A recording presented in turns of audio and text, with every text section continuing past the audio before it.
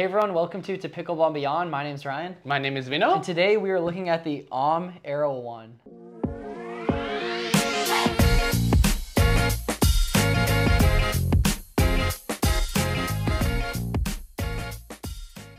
So we have our hands on the first pickleball racket, and I'm not mispronouncing Yep. it. The first pickleball racket and here. that's how it is marketed. Yep. Um, that's out on their site. Um, I think one of the special features about this is it, it has this fluid carbon um, frame. Yep. And we'll put a picture out there. Um, it- it's very interesting. Yeah. It's got a ton of stuff, um, and you know you can go online and look Yeah, as on their website they have tons of good Y- info. Yes, really great info on its specs. We'll put a link. We'll put some descriptions on there. It's a very unique paddle. It's one of the most unique paddles I've ever seen. Yes, and and like we both have been playing around with it and trying to get around Yeah. how it feels. It's the longest we've used a paddle, I think, to try and figure it out. It is just very yes. confusing. And and again, it's like, how do you categorize this paddle? Yeah, for me personally, I think it's an all-around paddle. Yeah, yes. That's what I think. And, and, and the reason we say that is Yep. because it does the control really well. Yep. And it does the power really well as well. And we'll, we'll talk about it as we uh, move on. I mean, this is one of those paddles where the swing weight is 109. Yeah. The twist weight is 7. The numbers are ridiculous, right? Yeah. And like, you know, uh, everyone goes with this, like, you know, higher the twist, twist weight, the better. Mm-hmm. But at one point, it's going to be, it's too heavy, right? There is nothing where as it keeps going up, it's only going to get better. It's going to plateau down, right? But at seven, I just feel like it's really at that really interesting point. yeah. So let's do our coverage of it. Yeah. Let's start with control. So starting with the control, again, like you touched on earlier, this paddle is like the most extreme case of like, when you hit the ball soft, it stays soft compared to hitting it hard, not to jump the gun on power. Yep. So it almost took a little getting used to though, hitting my dinks, learning to hit my third shot drops and uh, resets in particular. The one I still struggle with is resets. I think that part, like, it really is such a different learning curve Yes, than most yes. paddles because it doesn't. It's weird. It feels like it doesn't have a lot of dwell, and then sometimes it does. Yes. It changes so much depending upon how fast the ball is coming in, as well as how hard you're hitting the ball. Which is why I think the control, it'll take you a little to get used to it, but I think it is, it has that consistency to it, and it does have a soft feel once you learn to figure it out. Yeah. Super unique. And it's a 14 millimeter. Yep. And usually the thinner you go, you get a lot of feel. You know where it is. You really get a lot of feel with this. It's like it's it's giving too much feedback almost. Yeah. And like you're, you're kind of over uh, over like reacting to that Yeah. because it's it has this extra stay when you want to. Yeah. It has this extra push when you want to. Yep. Um, I mean, once you got used to it, it was interesting. You did have that um, control, especially in the dink area, Yep. right? You, you definitely did. You felt like you can put Yeah. it where you wanted. Yep. Because, and this is where I think this was the highlight of this battle for me, and I'll get you to exaggerate on that, elaborate on that, maneuverability. Yeah.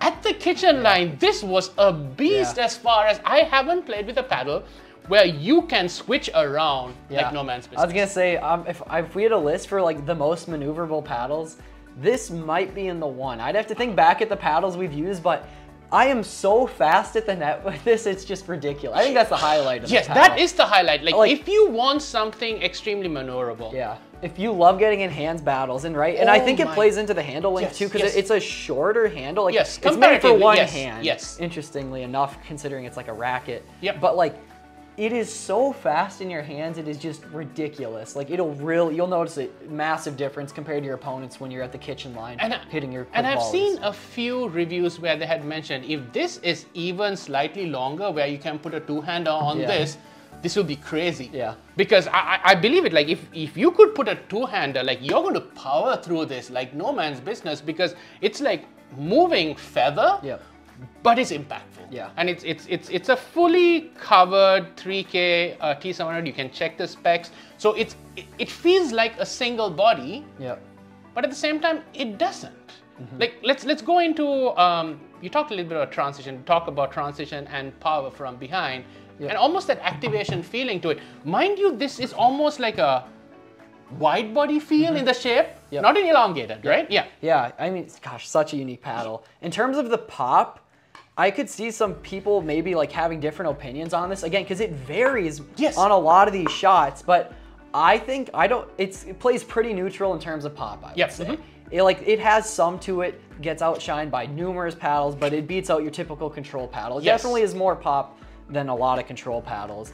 But where it, And, yeah, and let me ahead. just add a sentence to that. Like when you have too much pop, Yeah. sometimes it's hard to control. Yep. When you have too little, mm-hmm. you can't get onto the speed. Yep, you can't hit a good speed up or you can flick. Because you can flick this really fast, you can generate that down. yep. But at the same time, I feel like if someone like hits, like so, I was playing with this yesterday or day before, I believe, and someone was really hammering at me, Yeah. and I felt like for a 14 millimeter, It, it oh, able absorbs it. yeah, exactly, It absorbs right? it well then. Exactly. When it, the, when the ball's coming harder at you, it dwells longer.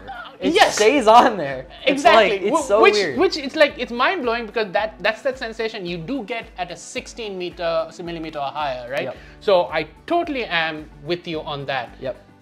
Yep. So that was the pop. You're going into the full raw generated power. So yeah, pop was like middle of the Yes. road, but then when you're doing a full swing on it, it actually has a lot of power to Yes. it, which is That- interesting. That you feel it's not there. Yep. It, It- feels it's like, it shouldn't be there. It there. shouldn't be there, and then it just Yeah.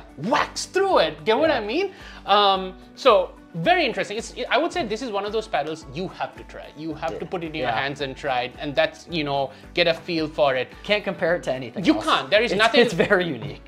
You hit the nail on the head. Spin.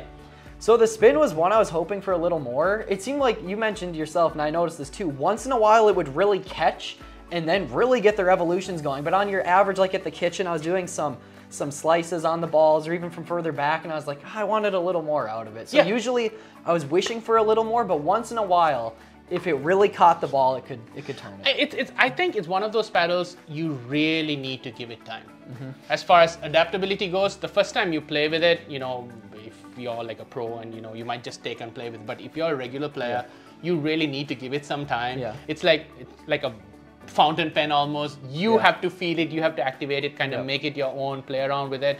But hell, this is one unique paddle. is. I mean, I was talking to the uh, founder as well. Um, he comes from a cricket background, so I was geeking out with him about that as well, and you know some of his background. And so I think they have really taken engineering to the next level. Um, you know, and I'm, I'm excited to see other paddles that they put out. Yeah. Because that's going to be very interesting. Because this is definitely unique.